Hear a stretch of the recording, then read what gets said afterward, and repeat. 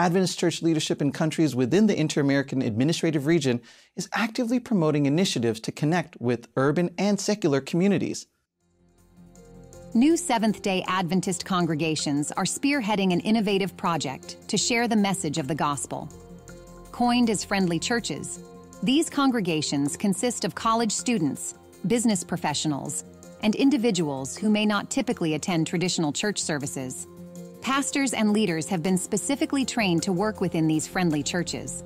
Nondescript buildings, less structured worship services, community outreach projects, and ongoing activities, such as football games, are among the strategic actions to attract people and share the message of hope with secular minded individuals.